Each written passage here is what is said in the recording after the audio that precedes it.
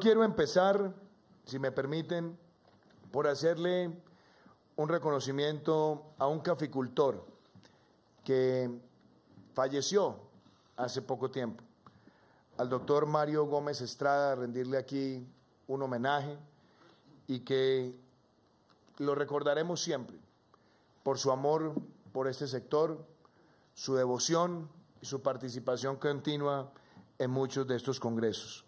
Mi saludo para su familia.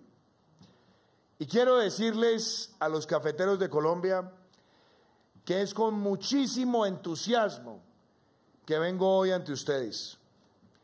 Hace un año, ustedes me dieron la posibilidad de dirigirme por primera vez como presidente de la República.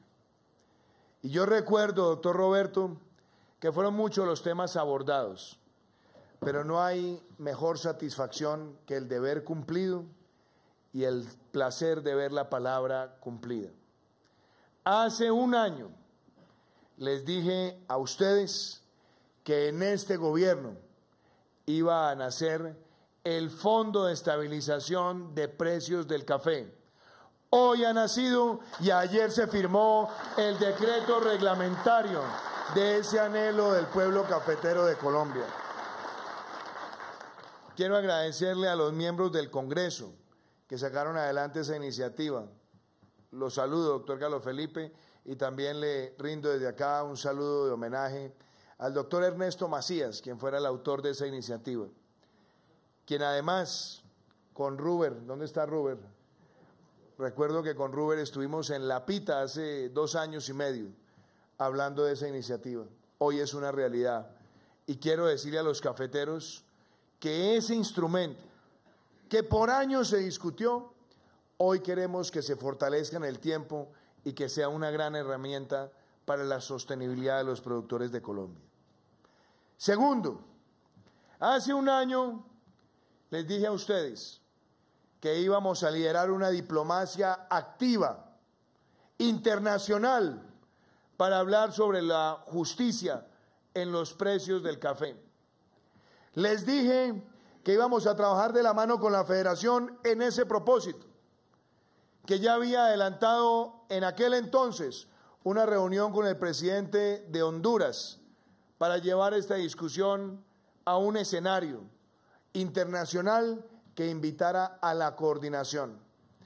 Pues quiero decirles que este año en la Asamblea General de Naciones Unidas tuve el inmenso honor de presidir esa sesión y de hablar de una agenda donde los pequeños productores de los países caficultores no se sigan quedando con el 10% mientras que los intermediarios se quedan con el 90% de los ingresos mundiales de la caficultura.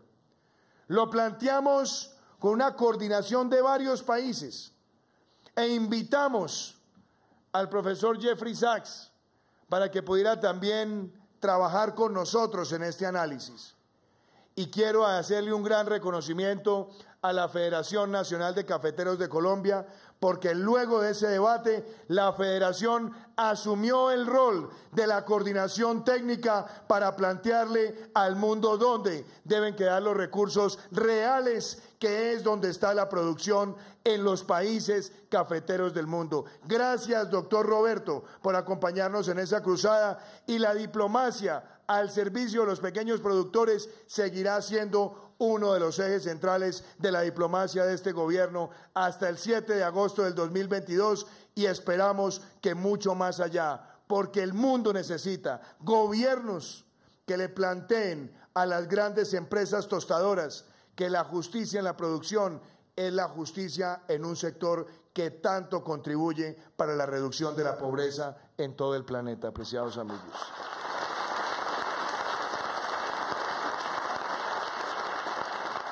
Hace un año les dije a ustedes que queríamos avanzar con los programas de renovación de cafetales. Pusimos recursos para ese propósito y queremos que esa iniciativa se siga manteniendo de manera vigorosa para que eso nos permita a nosotros llevar soluciones a todas las regiones cafeteras de Colombia. Son 16 departamentos. Dijimos hace un año que nosotros queríamos ponernos una meta, mejorar la producción en el año 2019. El año pasado estábamos pasando por momentos difíciles y había muchas caras escépticas cuando decíamos que en el año 2019 teníamos que superar el umbral de los 14 millones de sacos. Y yo quiero decirles que hoy una vez más se ve la resiliencia de los cafeteros de Colombia, porque este año, doctor Roberto, muy posiblemente cerraremos con 14.3 millones de sacos, lo que demuestra que ese objetivo se ha cumplido y se ha cumplido en un gran entorno de precios al cierre de este año. Que quiero hacerles una invitación respetuosa a todos mis amigos cafeteros. Aprovechemos estas circunstancias de precios de hoy. Empecemos a liquidar con futuros. Empecemos a hacer esas ventas con los futuros. Tendrán todo el acompañamiento nuestro, porque estos son muy buenos entornos de precios. Claro, todos tenemos la expectativa de que sigan mejorando, pero me parece que dada la situación que tenemos hoy de casi un millón de pesos por carga, liquidemos esos futuros para darle sostenibilidad al ingreso de los cafeteros. Como gobierno, estamos listos a facilitar las herramientas e instrumentos, como lo hemos venido haciendo, y es una invitación que les hago porque creo que este entorno no es fácil que lo encontremos en la dinámica internacional. Aprovechémoslo y cuenten con el compromiso de este gobierno, queridos amigos. También quiero plantear algo. Hace un año les dije que a mí me motivaba ver a los jóvenes emprendedores caficultores. Hace un año recuerdo a nuestro profesor llegar con ese entusiasmo y esa energía y presentarnos cuatro o cinco millennials cafeteros. Y estaba aquí el doctor Ignacio Gaitán, presidente de Impulsa, y le dije, doctor Ignacio, usted no se me va hoy de la federación sin dejar concebido un programa de apoyo al emprendimiento de los jóvenes caficultores de Colombia. Aquí el doctor Ignacio muy diligentemente me pasó esta hojita y es una hojita que quiero compartirles. Un año después tenemos el programa InnoCafé de innovación para emprendedores cafeteros ya tenemos 1.821 millones de pesos asignados en capital semilla, 118 beneficiarios, 35 empresas, 83 productores. Hay que seguir ampliando eso, doctor Ignacio.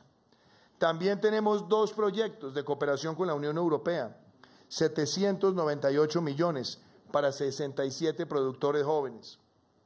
Tenemos la iniciativa de Cluster, donde hay 7.500 millones en inversión para innovación en la producción cafetera.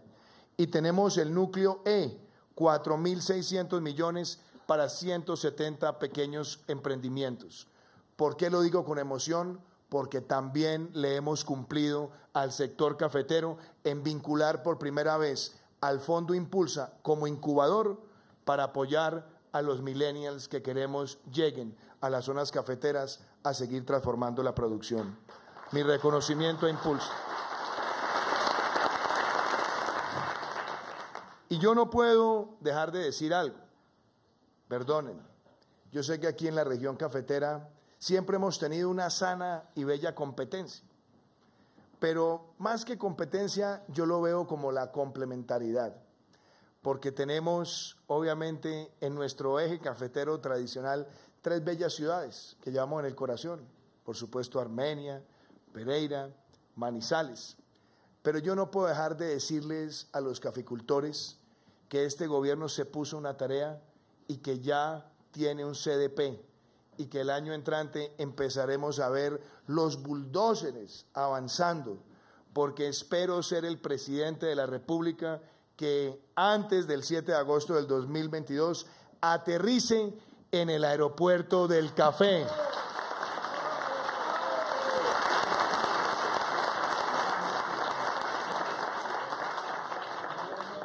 Obviamente, obviamente, sin que eso sea menoscabo, porque el otro día me preguntó alguien, pero usted por qué ha insistido tanto en eso? Y mire que eso tiene una lógica. una lógica. Ninguno de los aeropuertos distintos tiene segunda pista. Y el hecho de tener los tres aeropuertos significa que queda la complementariedad, la combinación de competitividad y creo que esto además será un gran aliciente para tener más visitantes en esa región tan tradicional e importante. Y quiero decirles otra cosa que me motiva mucho. Hace un año les dije que queríamos hacer una diplomacia cafetera más activa, que queríamos llevar el café a más lugares del mundo. Y creo, doctor Roberto, que dimos un paso gigante en nuestra visita a la República Popular China, donde fuimos a hablar de las bondades de la región cafetera. Y recuerdo que estuvimos con el presidente Xi Jinping en, el, en la reunión de Estado. Y entonces el presidente Xi me preguntó, dígame tres cosas rápidas que usted necesite. Y le dije, bueno, la primera, necesito que ustedes me tomen más café colombiano. Y me dijo una cosa, me dijo, hay un gran proceso de transformación en la gastronomía en la República Popular China. Y cada vez son más los restaurantes que quieren vender el café como complemento a una buena cena o a un buen almuerzo. Y me decía que había cada vez más sofisticación del consumo. Y creo que ahí se inició un gran proceso para que nosotros podamos de manera dinámica aumentar las exportaciones de café a ese gran mercado. Doctor Roberto, usted y yo nos pusimos una meta, triplicar las exportaciones de café colombiano a China en los próximos tres años. Así que con ustedes vamos a dar ese pasito.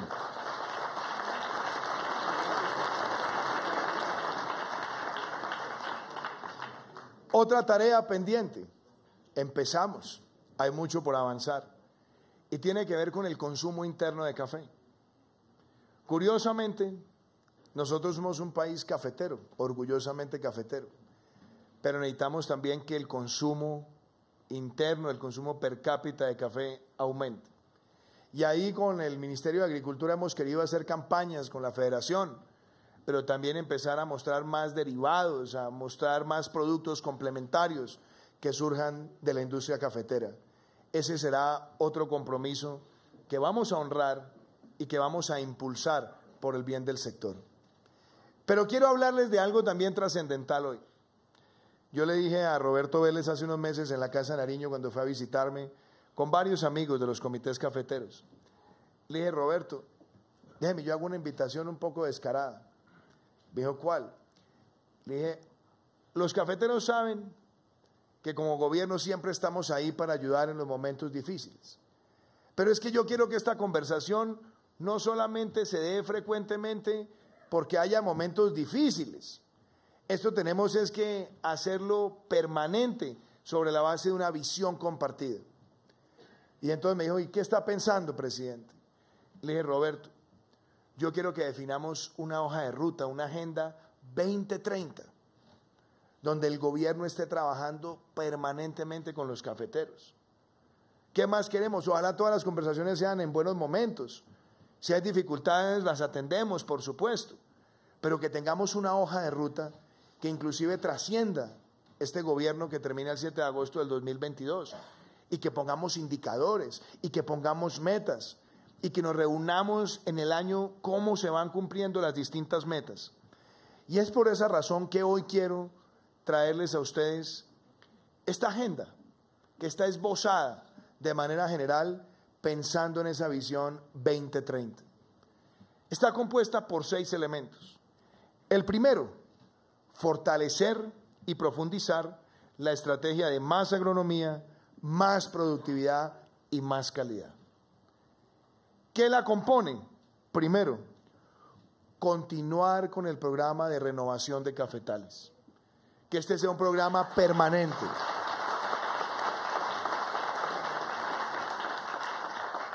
Segundo, algo que ha sido tan importante, nosotros fortalecer los programas de extensión cafetera. Que esos programas transmitan y transfieran conocimiento, buenas prácticas y por supuesto la mejora continua la productividad. Otra, ampliar y difundir cada vez más las innovaciones e investigaciones de Cenicafé. Y este tema para mí no es ajeno.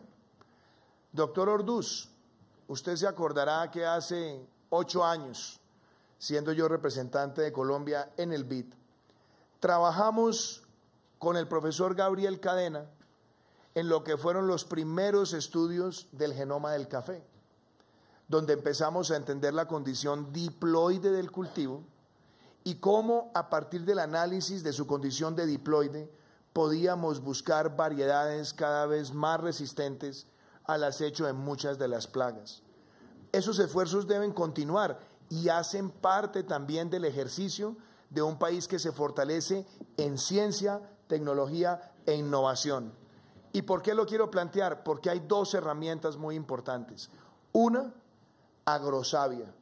Quiero una agrosavia trabajando cada vez más de la mano con Cenicafé. Y quiero decirles que ayer dimos otro paso histórico, la creación del Ministerio de Ciencia, Tecnología e Innovación, que quiero ponerlo al servicio también de la investigación especializada para los cafeteros de Colombia y que las investigaciones que se hagan trasciendan e impacten positivamente en su realidad y en su futuro, mis queridos cafeteros.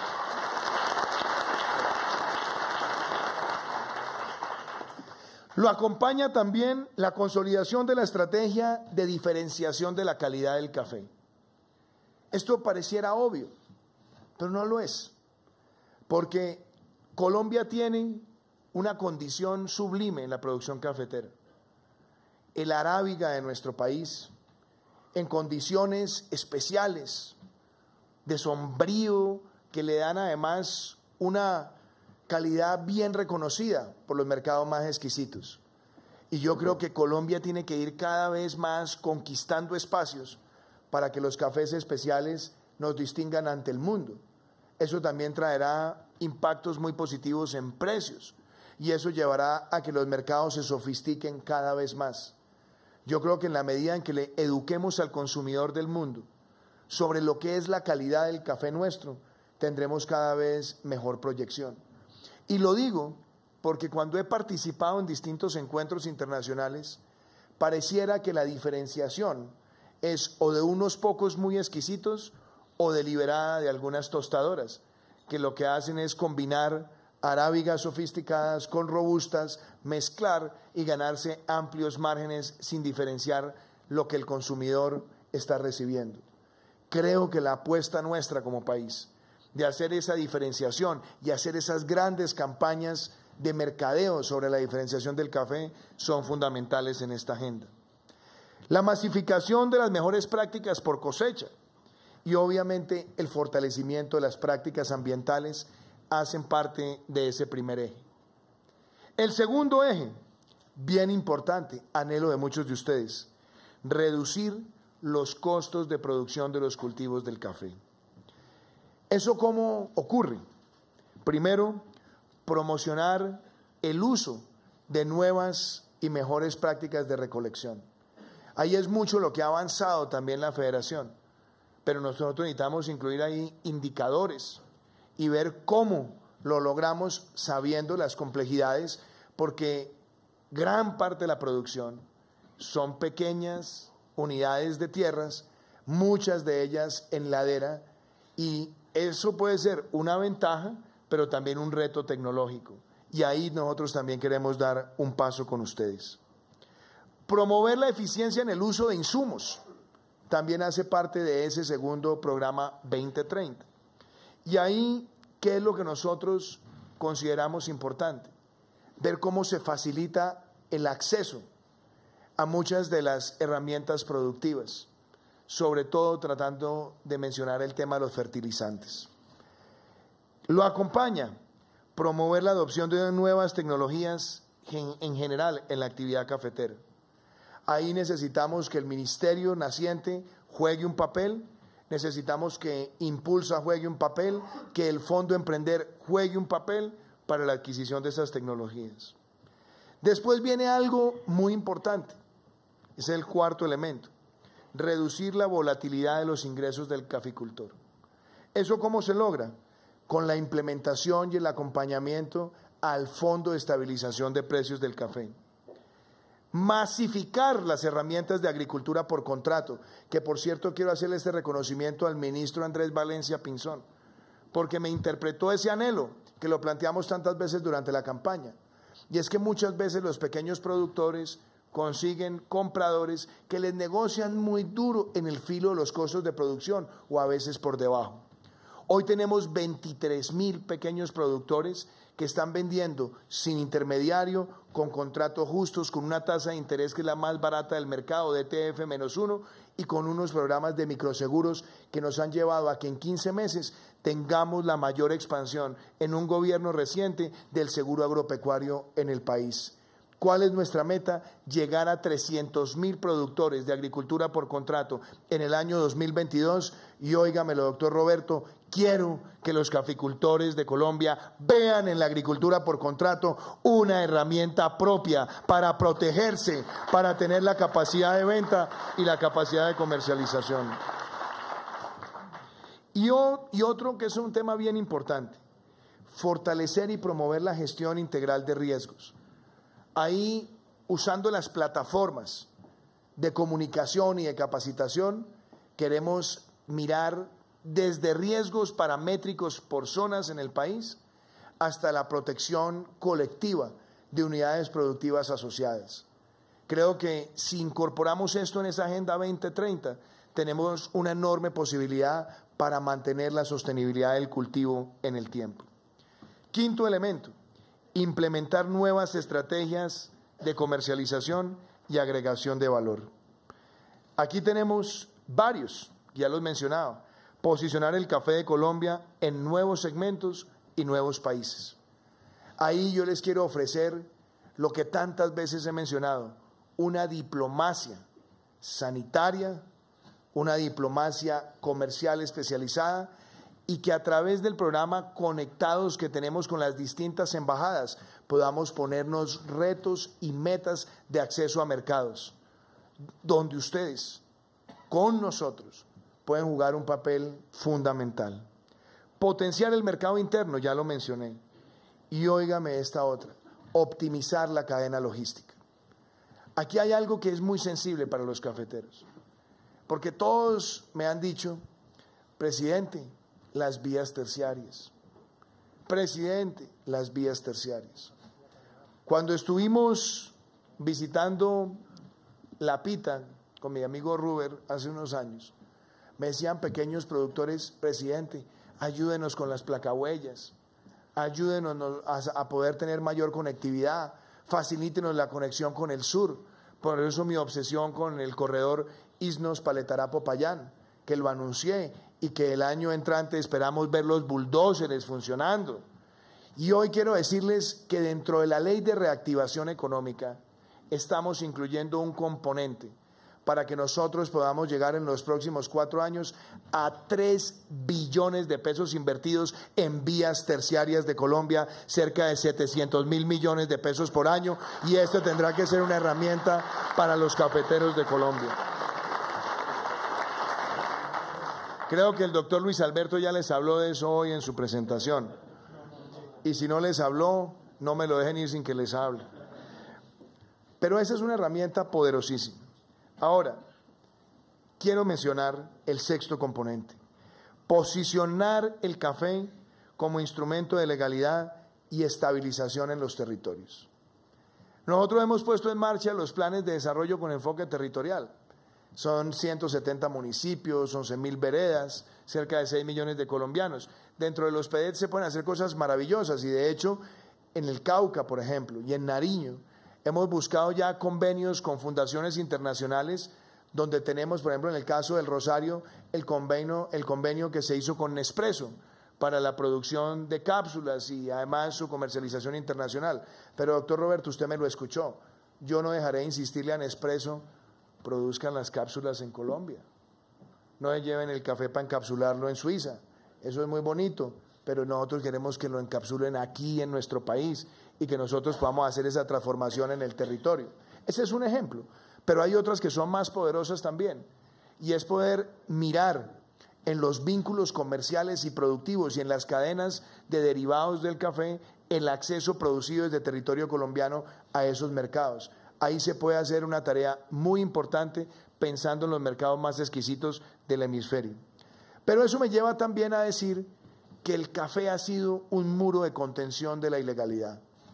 Muy pocas veces se habla de esto, pero uno de los éxitos más importantes que tiene el café en Colombia es que en regiones donde era quizás muy fácil que llegara la tentación de la violencia, fue el café el que contuvo la violencia y generó una cultura de legalidad para miles de colombianos.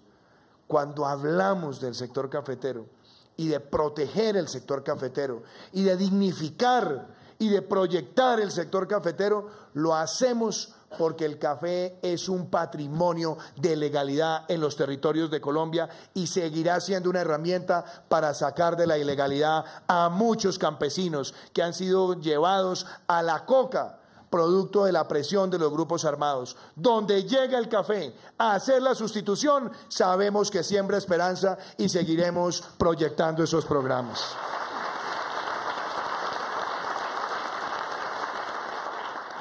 Y no puedo dejar de hacerle un homenaje dentro de esa sexta línea a la mujer cafetera. Porque la mujer cafetera, perdónenme que lo diga en una palabra quizás no tan castiza, pero el corazón. La mujer cafetera es sinónimo de berraquera. Y la mujer cafetera de Colombia es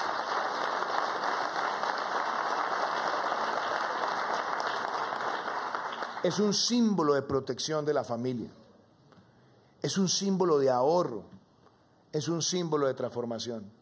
En los programas que tenemos en el plan de desarrollo de equidad para la mujer, queremos que ese capítulo especial lo llevemos al plano de la realidad continua, doctor Roberto, para que eso también haga parte de esta estrategia 2030. Aquí está, en estos seis punticos. Pero yo quiero que esto no se nos quede solamente en los seis punticos de una agenda. Y por eso mi compromiso con los cafeteros de Colombia, óigamelo bien, doctor Luis Alberto Rodríguez, director de planeación, en el segundo trimestre del año entrante, estos seis puntos se van a convertir en un documento COMPES de política pública para los cafeteros de Colombia, para que esto trascienda.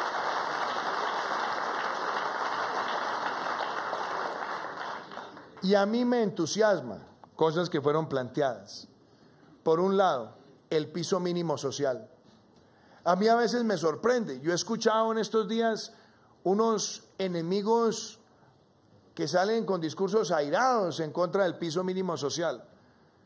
Y yo me pregunto, ¿será que ellos no saben dónde viven? ¿Será que no conocen el campo de Colombia?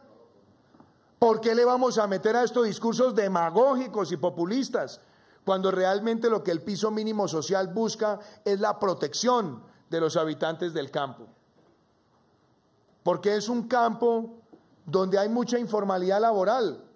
Y entonces, ¿qué queremos? Que no haya protección para la vejez ni más faltaba. El piso mínimo social es el primer paso para la protección de la vejez de los habitantes del campo colombiano y lo vamos a defender porque esto fue construido de abajo hacia arriba con los habitantes del campo colombiano. Ustedes, los cafeteros, han sido los grandes líderes de ese proceso de adoptar el piso mínimo social, acompañado también, debo decirlo, por la SAC, doctor Jorge Bedoya porque es justamente para eso, para que en la vejez tengamos esa protección, sobre todo en zonas donde hemos tenido una informalidad acumulada por años. Pero además quiero decirles, buscar corregir esas dificultades del 092 también es una tarea, doctor Roberto. Y yo creo que eso tiene que quedar incluido también dentro de esta agenda de los seis puntos, ministro Valencia, porque eso también ayuda y facilita y permite llegar con mejores instrumentos y proyectos a las zonas rurales. Yo creo, doctor Luis Alberto, eso tiene que quedar incluido no solamente en el COMPES, sino que ojalá el año entrante, cuando venga a dirigirme una vez más a los cafeteros de Colombia, digamos que eso ya está corregido y estamos funcionando como debe ser para poder llegar con mejores soluciones a las zonas rurales de Colombia. Y otro elemento con el cual quiero cerrar. Miren, el caficultor es emprendedor. Yo veía ahora los videos de los héroes cafeteros. Y entonces uno se pregunta, ¿cómo queremos que prosperen los héroes? Los héroes se van formalizando, van creando su marca, van creando su sello, empacan el café, lo venden. Algunos inclusive le ponen marcas de compradores externos que se las piden, por favor, póngale esta etiqueta, como lo hemos visto en tantos lugares, en, particularmente en Bruselas, en el Huila, cuando he podido ir a visitar, veo muchos extranjeros que están pidiendo esos cafés especiales con los sellos con los que ellos los quieren llevar a otros lugares, o lo he visto en Nariño, o inclusive lo he visto también en la Sierra Nevada en Colombia. Entonces, cuando uno ve los esquemas de producción, uno se pregunta, bueno, ¿y queremos entonces que estos héroes sigan creciendo y progresen? Claro, claro. ¿Y queremos que se formalicen empresarialmente? Claro. Pero entonces, la pregunta es, ¿cuál ha sido el disuasor histórico para que no todos se formalicen en esas empresas? Y uno de los disuasores, ¿saben cuáles eran? Las elevadas cargas de impuestos que traía Colombia, donde a la micro y a la pequeña empresa les tocaba, si se formalizaban, salir a pagar tasas efectivas de más del 50 o 60%. ¿Por qué yo hablé tanto de reducir los impuestos a la micro, pequeña, mediana empresa en el país durante la campaña presidencial. Hombre, para que seamos más competitivos, para que esos pequeños productores se formalicen y avancen y progresen y vendan. Y esa es la razón por la cual en la ley de crecimiento económico está contemplado cero impuesto de renta durante los primeros siete años para los nuevos emprendimientos en el campo colombiano, además corrigiendo los topes para que se pueda llegar con más vocación de inversión en el campo colombiano, para que muchos de ustedes puedan seguir expandiendo sus negocios. Eso es lo que nosotros queremos, no lo que plantean algunos que con populismo o con demagogia tratan de decir que todo aquel que sea pequeño o mediano productor es un rico para tratar de infundir odio de clases en Colombia. Este país ha sido siempre inmune al odio de clases y sobre todo el sector cafetero ha sido inmune al odio de clases, porque aquí todos los emprendedores que veo, los pequeños, los medianos, los grandes, han estado en sus fincas trabajando y buscando también la dignificación de sus trabajadores y de sus recolectores. Por esa razón tenemos que seguir defendiendo esa exención y seguir defendiendo que llegue más inversión al campo, porque no nos pueden arrebatar el sueño de tener un campo más vigoroso y generando más puestos de trabajo, queridos amigos cafeteros.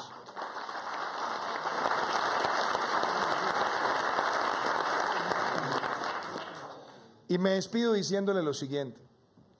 Cada vez que yo vengo acá me emociono mucho porque aquí se ve la diversidad cafetera de Colombia. Aquí se ven las regiones ancestrales cafeteras de Antioquia. Se ven también los cafeteros especializados de la costa norte. Veo también los miembros de los nuevos ejes cafeteros del sur del país, todos unidos con una sola bandera, esa bandera amarillo, azul y rojo que nos hace sentir orgullosos de ser colombianos. Yo quiero invitar a los cafeteros de Colombia a que me acompañen en esta gran conversación nacional, porque las conversaciones de todo un país no son con imposiciones, no son retadoras, no son con ultimátums.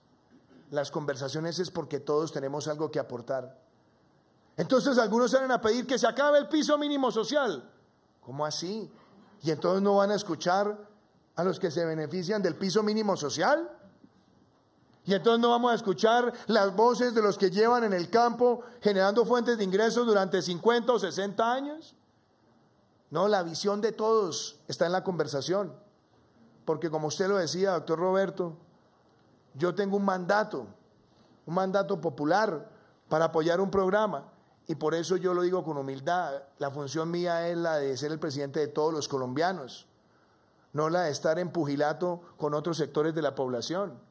porque yo soy el presidente de los que marchen y los que no marchan, de los que se levantan todos los días a trabajar, de los que también tienen expectativas, de los que tienen otras formas de expresarse y comunicarse. Por eso la conversación debe ser amplia entre todos para construir ese mejor camino. Y esta Agenda 2030 es producto de la conversación de un gobierno con el sector cafetero. La estabilización, el fondo de estabilización de los precios del café es producto de una conversación. La diplomacia cafetera es producto de una conversación, no producto de una imposición. Porque es justamente en la conversación donde nosotros podemos ser más como país. Y por eso yo debo decírselos a ustedes de una forma muy sincera. Lo que nosotros queremos es que el país progrese cada día más. Yo recuerdo que cuando empecé la presidencia, y esto lo he dicho ya en varios foros, yo el 7 de agosto me posicioné a las 3 de la tarde y el 8 de agosto estaba en San Andrés a las 11 de la mañana y me dijo una señora, presidente, este gobierno no ha hecho nada. Y entonces varios, varios, varios compañeros del gobierno me decían con preocupación, vea, presidente, les dije, no, ojo, porque cuando hay frustraciones acumuladas en el tiempo y hay herencias de frustraciones acumuladas en el tiempo, la ciudadanía no quiere diferenciar quién es el presidente y de pronto no tiene por qué hacerlo. Y eso quiere decir que frente a la impaciencia acumulada de los años, algunos de pronto nos toca responder por muchos problemas que envejecieron mal, pero nosotros no llegamos a la presidencia para quejarnos, sino para trabajar con amor por este país. Y esa es la razón por la cual yo soy consciente que en muchos sectores hay grandes reclamaciones acumuladas en el tiempo. Llevamos apenas 16 meses en el ejercicio de la presidencia. ¿Qué más quisiera yo que decir a los colombianos ya todos los problemas están resueltos? Pero eso sería una ilusión, sería algo prácticamente de ciencia ficción. Lo que sí puedo decir es que en 16 meses hemos tratado de abordar las complejidades y los problemas del país con humildad y con decisión sin espíritu promesero, ni vendiendo soluciones milagrosas, ni andando con varitas mágicas. Lo hemos hecho manteniendo una economía creíble, lo hemos hecho manteniendo responsabilidad fiscal, pero lo hemos hecho teniendo la creatividad para buscar soluciones, como lo hemos hecho con el sector cafetero. Por eso, apreciados amigos, yo creo que el reto que nosotros tenemos como país hoy es pasar las páginas de la pugnacidad, dejar de vernos los colombianos entre hermanos como rivales, ver quién le gana el pulso al otro. Esa no es la Colombia que hemos construido. Nosotros hemos construido un país en medio de muchas adversidades, pero lo hemos hecho porque hemos sido capaces de ponernos de acuerdo en muchas cosas. Y no podemos dejar que nada nos arrebate lo que hemos construido, porque a Colombia nadie le ha regalado nada porque ese es un país que tuvo que enfrentar los peores momentos del narcotráfico y del terrorismo y violencias bipartidistas por décadas. Y lo que se ha construido es muy grande y no podemos dejar que nadie nos lo arrebate, ni que los discursos de pirómanos pongan en riesgo lo que ha construido el país, porque lo que hemos construido no le pertenece a nadie, es una construcción colectiva, no es la individualidad de ningún líder político, es el esfuerzo de todo un país. Y por eso, si nos hace falta conquistar más, hagámoslo, con determinación, con abnegación, sin violencia. Nada puede justificar que para defender un derecho se le violen los derechos a otro ciudadano, ni el derecho al trabajo, ni la movilidad, ni el derecho a la educación, ningún otro. Porque eso es democracia. Democracia es saber convivir y pararse en los zapatos del otro y esgrimir las preocupaciones, pero sin afectar los derechos de los demás. Y por eso como presidente de la República ayer anuncié una línea de crédito subsidiada para los pequeños comerciantes que se vieron afectados por vándalos o que se vieron afectados porque tuvieron que cerrar en un momento tan importante como es el mes de diciembre. Pero no puede ser que el país siga pagando esos costos, por Dios. Aquí estamos todos dispuestos a estar en una gran conversación nacional, pero lo que no podemos seguir viendo es que otras personas se vean afectadas porque algunos les quieren cercenar sus derechos. Por eso hoy como país estamos más listos que nunca a seguir dando pasos hacia adelante, pero hacerlo sobre la base de rechazar cualquier expresión de odio, cualquier expresión de los que quieren generar una lucha de clases para cabalgar en sus pretensiones politiqueras hacia el poder. La mejor manera de construir país es como lo han hecho ustedes los cafeteros de Colombia, construyendo la cooperativa más grande que se haya visto quizás en la historia de la agricultura a nivel mundial, construyendo sobre la base donde puede haber diferencias, pero grandes convergencias. Por eso para mí ustedes son un gran ejemplo para el país y quiero que jueguen un papel participativo en esta gran conversación nacional. Les quiero agradecer profundamente lo que ustedes son para nuestro país. Les quiero agradecer a todas las más de 500 mil familias cafeteras, familias que se han forjado a pulso, que han enfrentado los choques de precios más severos, muchas crisis, pero que siempre salen adelante con el ingenio y la creatividad de Colombia. Queridos cafeteros, este es mi segundo año acá como presidente y yo espero que aquí al 7 de agosto del 2022 me sigan recibiendo y espero después del 7 de agosto del 2022 buscar un título y es el de ser cafetero honorario para seguir viniendo a acompañarlos en estos encuentros. Que me Dios los bendiga. Muchas gracias.